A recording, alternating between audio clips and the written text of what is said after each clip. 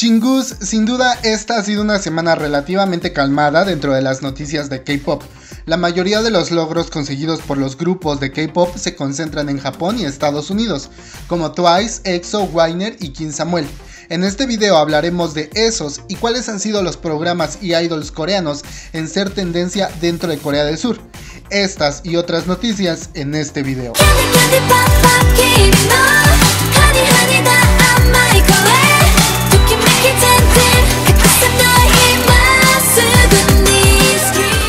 La famosa patinadora rusa Evgenia Medvedeva en la pantalla te va a aparecer el nombre. Habló recientemente de cómo la música de EXO la inspira para poder tener un buen desempeño en la pista de patinaje. En los recientes Juegos Olímpicos de Invierno celebrados en Pyeongchang, Corea, la patinadora superó su propio récord mundial al conseguir 81.6 puntos en su presentación. Cuando la entrevistaron y le preguntaron si escucha K-pop, ella respondió que sí y que las canciones de EXO la motivan y le dan fuerza para continuar.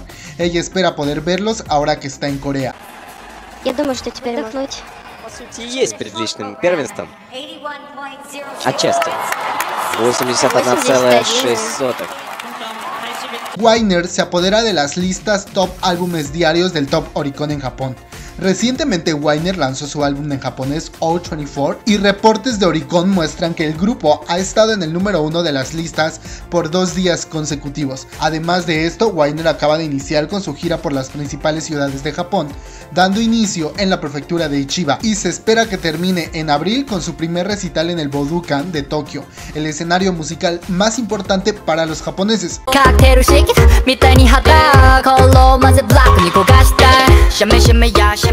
Twice es otro grupo que se coloca en lo más alto del top Oricon.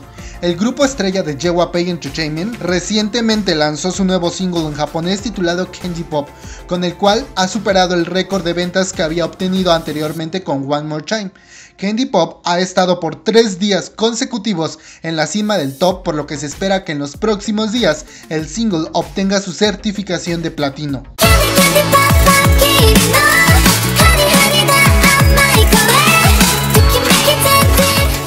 Mientras tanto, EXO ha logrado la certificación de oro por las altas ventas de su nuevo álbum en japonés a solo 10 días. La RIAC certificó el álbum Countdown por vender más de 100.000 copias en solo 10 días.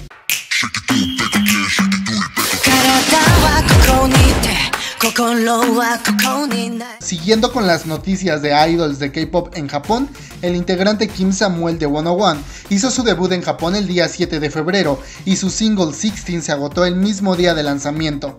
Además, el cantante ofreció un concierto privado para mil personas en el Odaiba Venue Font de Tokio. Al lugar llegaron más de 1500 fans, demostrando así la popularidad del idol. Al mismo tiempo, en las pantallas luminosas de publicidad de Shibuya y Osaka, se anunció el próximo álbum en japonés del cantante.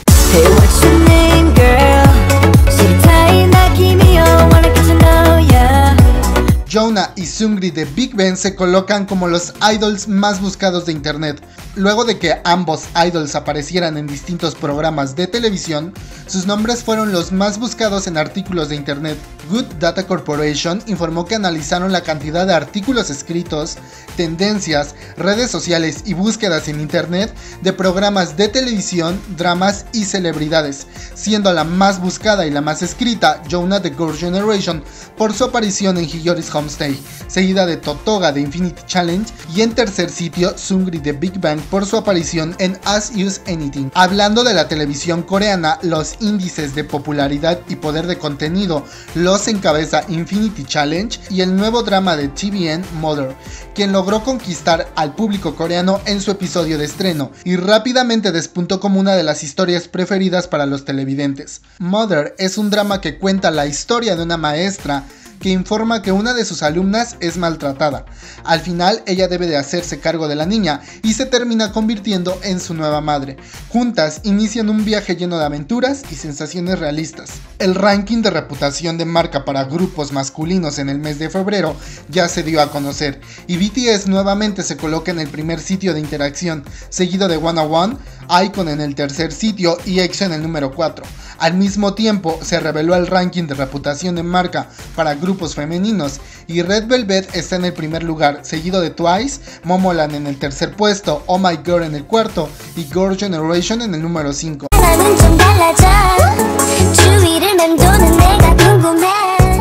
Y hablando de Red Velvet, ellas consiguen sumar su cuarta victoria para Bad Boy en Inkigayo. Pese a que el programa no se transmitió debido a los Juegos Olímpicos de Invierno, el programa informó que Red Velvet obtuvo el primer lugar. BTS, Twice, EXO, Red Velvet, Icon y Seventeen fueron elegidos como los seis mejores grupos de K-pop por la revista estadounidense Time. En la nueva edición de la revista a propósito de los Juegos Olímpicos de Invierno celebrados en Corea, la revista Time publicó una lista de los seis mejores grupos de K-pop de la actualidad, siendo BTS, Twice y EXO los primeros tres sitios. Por último, al parecer EXO será otro grupo que no asistirá a los Gaon Short Awards, pues el evento se cruza con su actuación en la ceremonia de clausura de los Juegos Olímpicos de Invierno.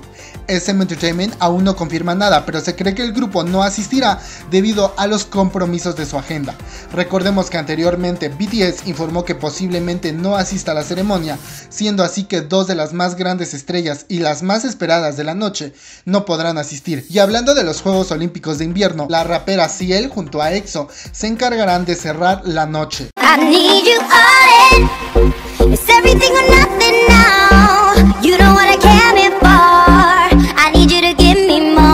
Y esta es noticia de último momento. BTS sigue teniendo mucho éxito, pues la RIA ha anunciado que GNM, tema incluido en el más reciente mini álbum de BTS, cumple con todos los requisitos para ser reconocida con la certificación de oro por sus altas ventas en Estados Unidos. Con este logro, BTS consigue su segunda certificación por la RIA en Estados Unidos en menos de un mes. La semana pasada se informó que el remix para Mic Drop era el primer tema del grupo en ser certificado. BTS es el primer grupo de K-pop en tener dos certificaciones por la RIA y la segunda estrella coreana en conseguir estas certificaciones. El primero fue PSY.